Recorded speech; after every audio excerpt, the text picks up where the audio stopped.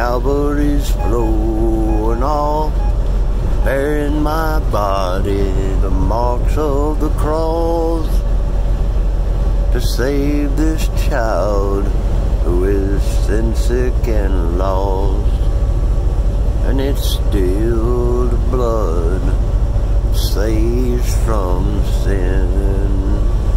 And it's still the blood cleanses within from the highest star in heaven to the depths of the sea. It's still the blood of Jesus that brings victory to me.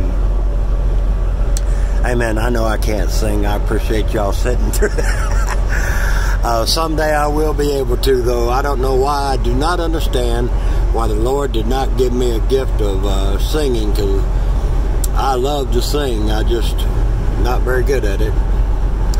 Uh, I didn't get any uh, musical gifts.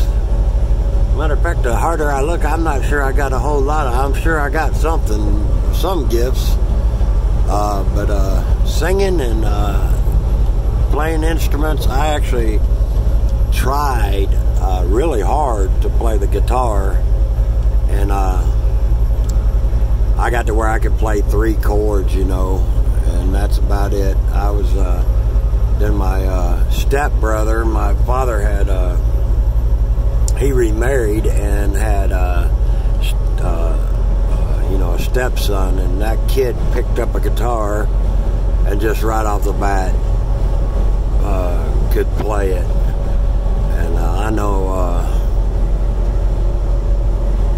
I, I just don't people get those and I don't. Anyway, I'm about to Dallas, Texas. Um, and I'm having to come th- right through town, so I figured I'd give you a view of the city. If uh, actually right now I'm in between Dallas and Fort Worth. I think I believe this is Michael's uh, neck of the woods uh, of Bible fandom. If you ever watch his uh, channel, he does uh, real good reviews, and uh, I believe he's going to seminary somewhere around here. But yeah, uh, it always reminds me when I go into the cities of Lot. Remember Lot? He set his tents towards Sodom.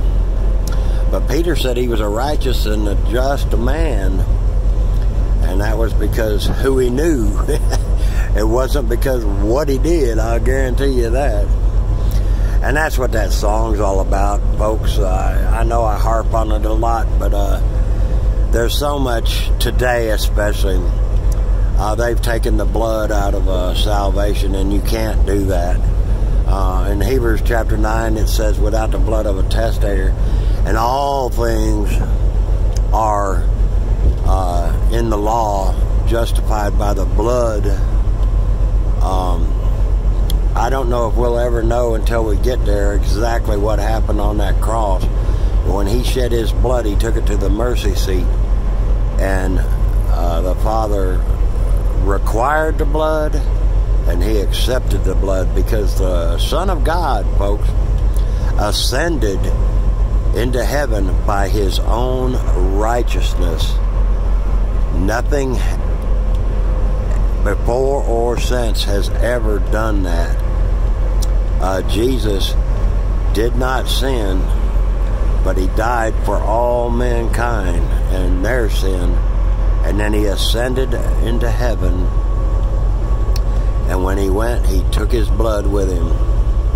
Praise God for that. If it wasn't for the blood of the Lord Jesus Christ, none of us could get in. If you are depending on your works, that will not get you there. You cannot climb into heaven. You got to go through the door, and Jesus is the door. He is the way, the truth, and the life.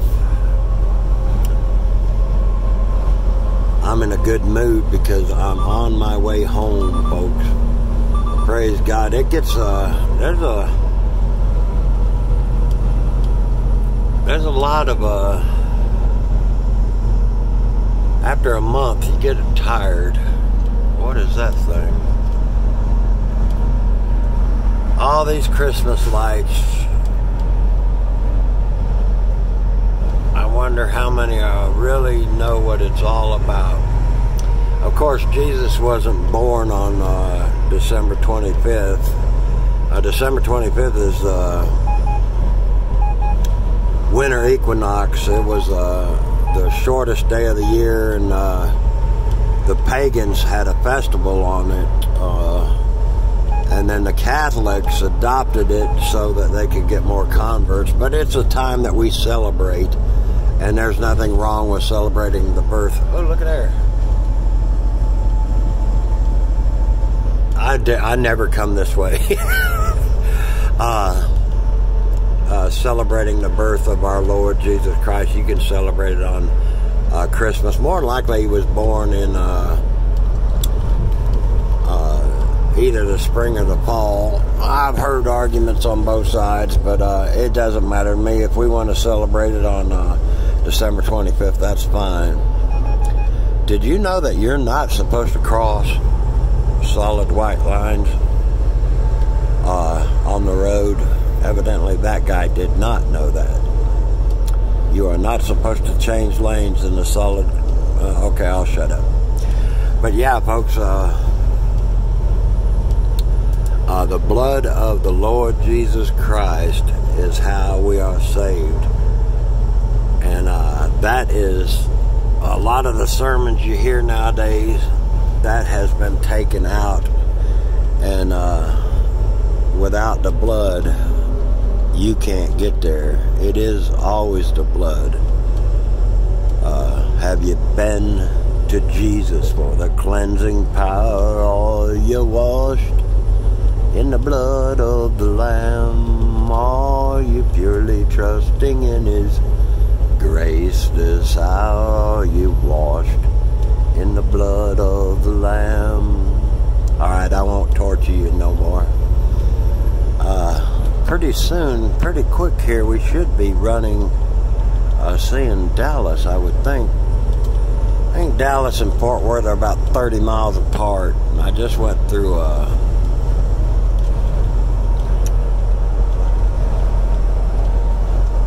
Better make sure I don't mess up here.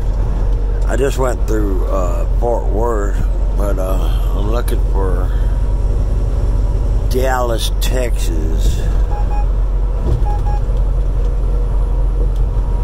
It's uh, 948 Dallas, Texas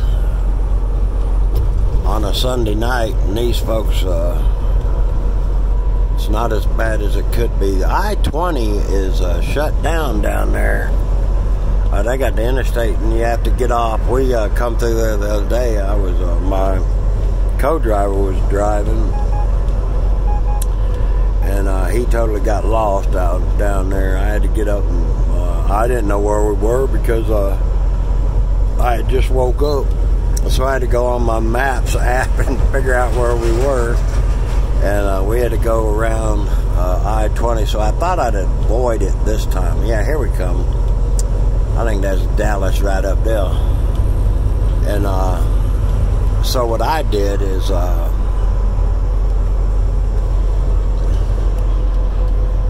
uh, went to my Maps app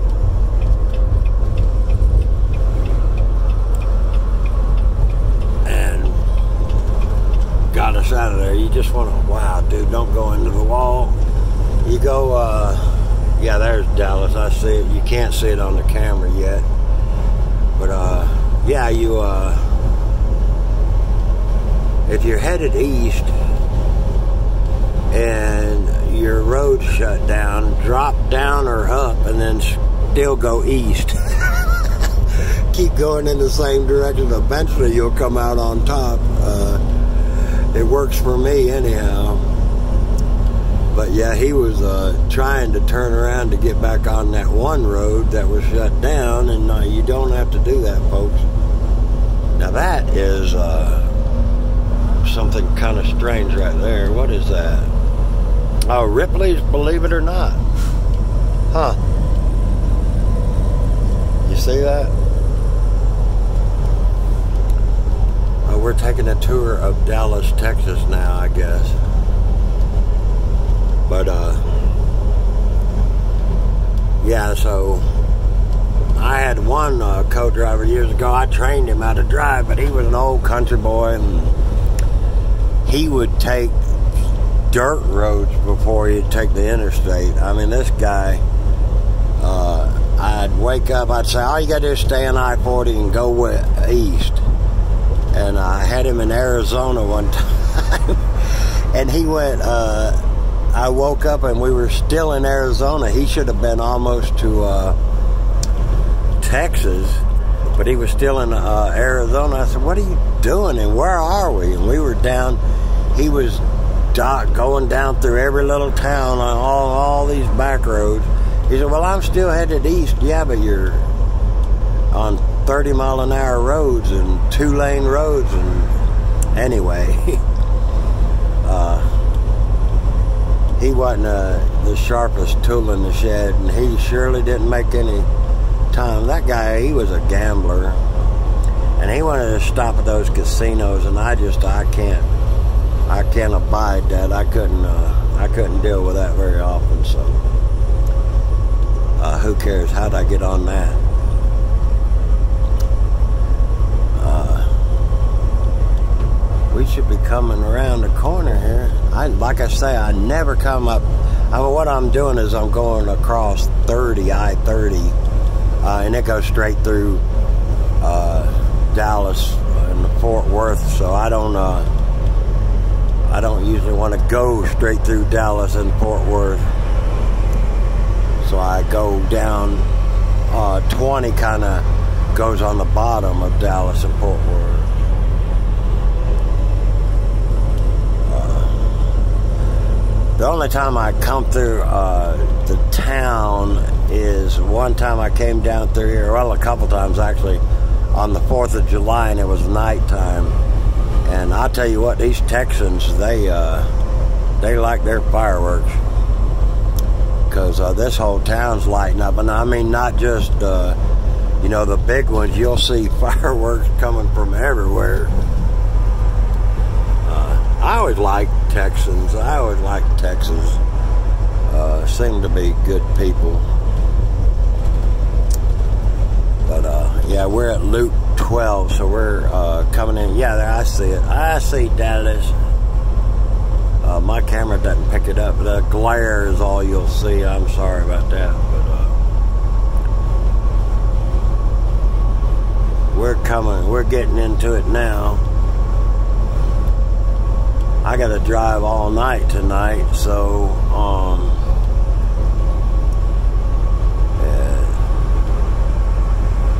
and I haven't. Uh, I used to could do this no problem. When I hauled chicken, uh, you had to, you know, cook your books a little bit and everything, and uh, you you slept when you got loaded, and uh, a lot of times it was like two hour nap, and then you'd be going, and we went like uh, five days with just straight. You had to redo your books all the time. It was uh,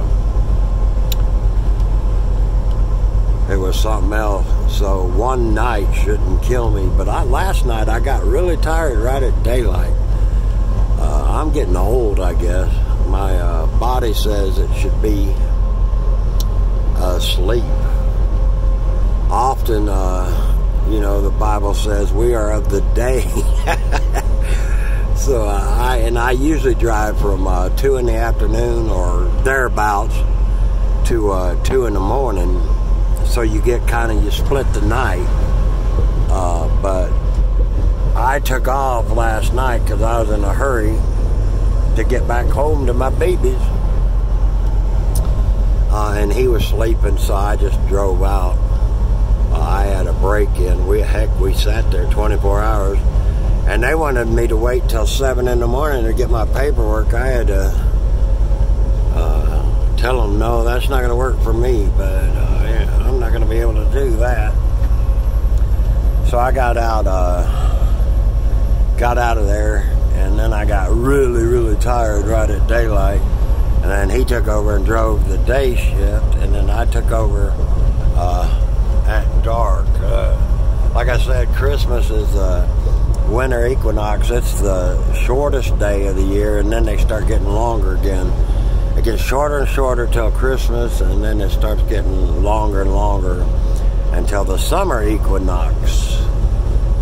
And uh, I'm not exactly sure the date of that. It doesn't matter. But here in a minute, you ought to be able to see it. I can see the city pretty clear, but I'm looking at my camera every once in a while and I don't see nothing but glare. I'm sorry about that, folks.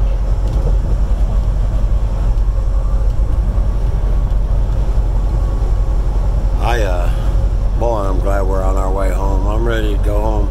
We're going to go home for five days and then we're going to stay out till, uh,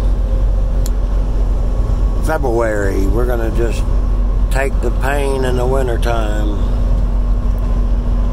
and uh, run about six to eight weeks next time out. So I'm looking forward to getting there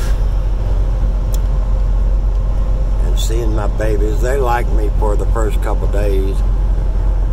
And uh, of course, it's Christmas time, so well, it's going to be uh, as close to Christmas as I'll get. I'm going to stay out and work on Christmas, but uh, we're going to do kind of a little meal deal, and uh, then oh, I'm going to let them open a present, so they're going to like me for a little while. The older ones, you know, they get over you. Uh, that little baby Ray Ray, she's still my sweetheart, and so is Harper. She's the next to the youngest one, and she uh, still loves her papa. I'm sure they all do, but uh, you know they get about 10, 11 years old, and yeah, and they just start, you know, doing their own thing, which is growing up. I guess that's what it's all about. I know I'm babbling, but I'm trying to hold on until you can. Do you see that green thing back there? That's a, that tall building, and then there's an X next to it. Let me see if I can get you in closer. There you go. There's Dallas, Texas. That's what I was trying to show you, folks.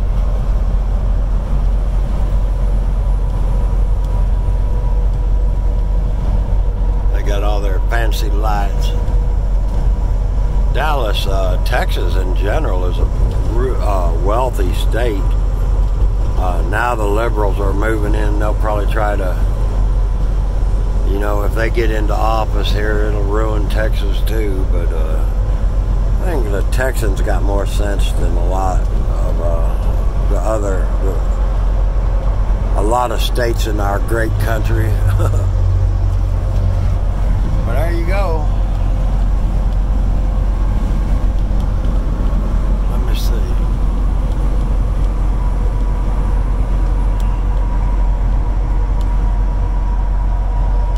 That's Dallas, Texas. And again, I I like to emphasize the blood of the Lord Jesus Christ because it is not emphasized enough in this day and age. Uh, you can ask a, a lot of uh, professing Christian. Here we go, right here. Uh, a lot of professing Christians how do you get saved?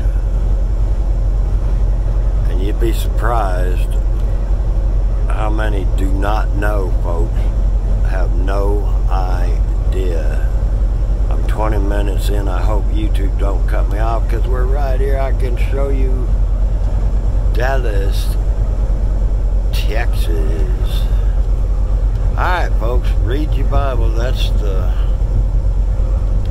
the big city of Dallas right there. Read your Bibles and pray without ceasing. I love you, and I'll talk to you next time. God bless each and every one.